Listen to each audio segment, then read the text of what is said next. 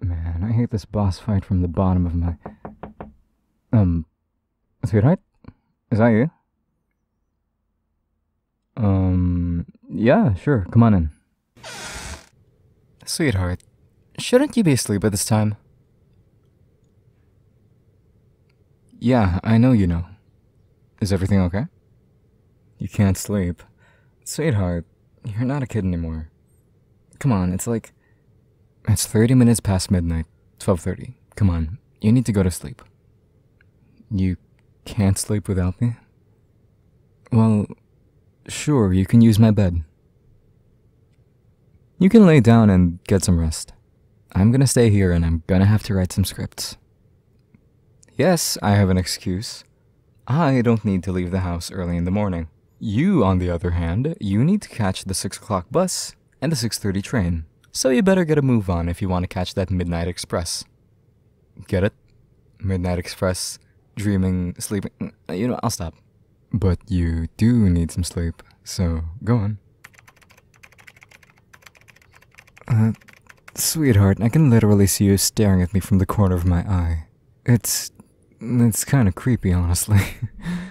but you're too cute and beautiful that all the creepiness gets drowned out. well, what is it? You wanna cuddle? You know what? Sure, let's cuddle. Let me just close up shop and turn my PC off. There we go. Scoot over, my bed's not that small. Man, if our parents saw us in the same bed together, they would definitely bury us alive and dance in our graves. It would be wise to keep this a secret between us. ah.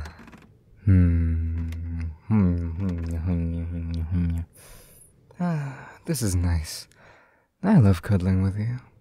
Your nice soft hair, your soft, smooth skin. I love everything about you. Especially when you breathe. I know it sounds weird, but I don't know. I love the feeling I get when I hear you breathe. It's just heartwarming. I don't know, I can't describe it easily. I just love it. Alright, sweetheart, enough is enough.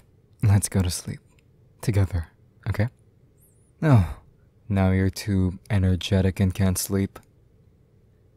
well, isn't that great? What, do you want me to drain you of all that energy?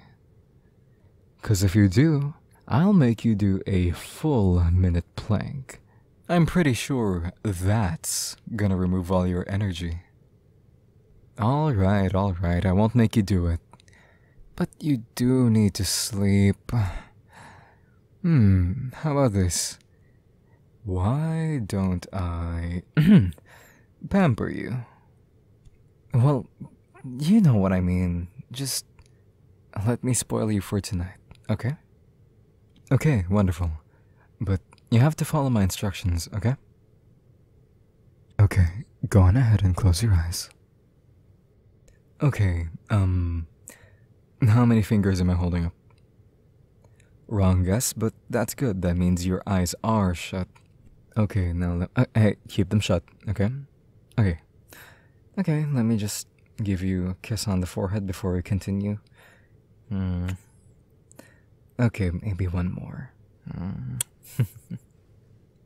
okay, now just relax your body, alright? Just relax. Breathe in, breathe out. Okay, inhale, exhale. Inhale, exhale. Good, just keep up that rhythm, alright? Okay, good. Now, I actually don't know what else to do. This is this is my first time doing this. Uh, keep your eyes closed. Okay, um Okay, how about I tell you a story? oh, someone's excited. okay, okay. Um Okay, there once was, um. There once was a little lion, yes. Now, this little lion had a beautiful mane. This little lion was brave and loved to go on adventures. It loved adventure so much that it went all over the world by itself, seeing all of the wonderful sights. But one day, the lion became lost. The lion sat on the side of the road and became sad. After a while, something came up to the lion. The lion looked up and saw an angel. Why are you so sad? the angel asked. The lion explained that it was lost. The angel smiled and gave the lion a soft laugh. Don't worry. I'll help you find your way. Come on, take my hand. And the angel helped the lion find its way back home. But as time went on, the angel and the lion would meet up to explore the city together the lion became absolutely clingy to this angel. And now they live together. Some people even say that the lion is so clingy that it asks for attention when it wants to sleep. And the angel happily obliges because the angel loves the lion so, so much. They were both very happy. The end. well, are you asleep yet? Well, no response should mean that you're already asleep. just in case you're pretending, mm-hmm. I love you, brave little lion, and I'll always be your guardian angel, okay? Here to protect you. I'll be by your side, always. Good night, sweetheart.